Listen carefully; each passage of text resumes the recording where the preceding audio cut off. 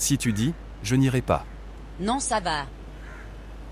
Comment se fait-il, Allah Tu ne prends pas non plus de médicaments. Tu ne prends pas non plus soin de toi. Grand-mère va se mettre en colère. Grand-mère. Je t'emmènerai chez le médecin en secret aujourd'hui. Mais, grand-mère, Quoi, grand-mère? On y va le soir, c'est définitif, d'accord.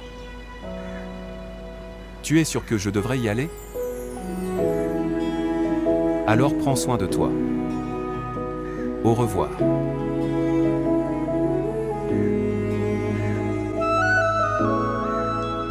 Tu ne devrais pas écouter ce que dit ta tante. C'est bon à rien. Bien. Elle a donné naissance à des enfants sans aller chez le médecin. Il y a 50 ans. Tu n'as pas besoin de l'écouter. mais grand-mère va se mettre en colère. Qu'elle soit en colère.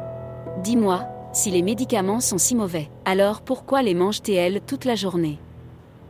À l'époque de Hamza, j'écoutais ses conseils. Mais à l'époque de Rumi, je faisais mon propre truc. La personne qui souffre saurait quoi faire. D'accord, ok maintenant, mange un médicament devant moi. La seconde c'est le soir, allez. Mangez le deuxième le soir.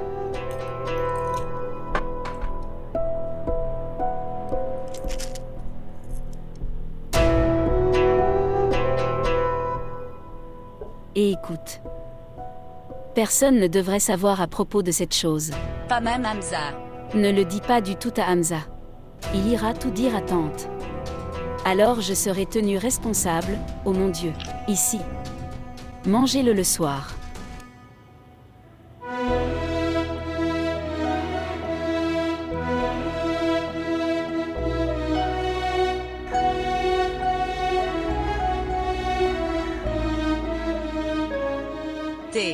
Non, non, tu l'as. Mangé.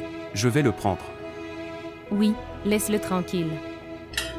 J'ai ça. Je l'ai fait pour toi. Grand-mère, sa douleur n'est toujours pas partie. C'est une astuce domestique. Cela prendra du temps. Ne t'inquiète pas, elle ira bien. Si vous ne voulez pas manger ces choses lourdes, alors, dois-je faire bouillir un œuf pour toi? Non, non. Je vais bien. Attends, laisse-moi. Non, tante, je vais bien.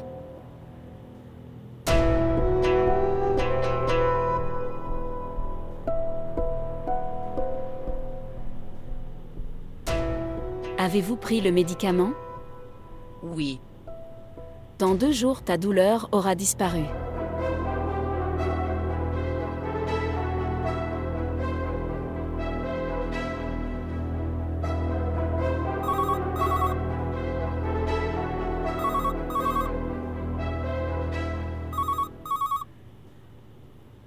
Qui appelle à 7 heures. Ils ne savent pas que les gens dorment l'après-midi.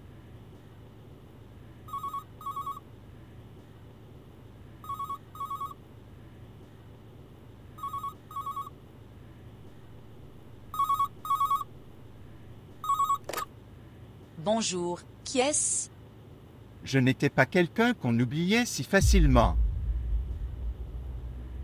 Su a même prétendu reconnaître ma respiration.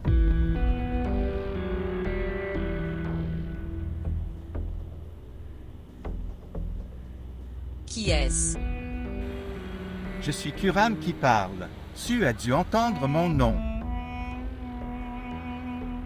N'appelle jamais ici. Quoi? Ne déconnectez pas mon appel. Prends au moins mes félicitations. Tous tes chagrins sont partis. Tu vas rencontrer ton père et ton Hamza. Il est follement amoureux de toi. De plus, tu vas être mère. Dis-moi seulement ceci.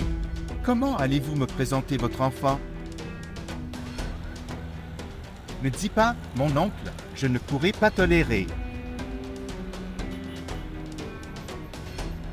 Ne mentionnez même pas le nom de mon enfant.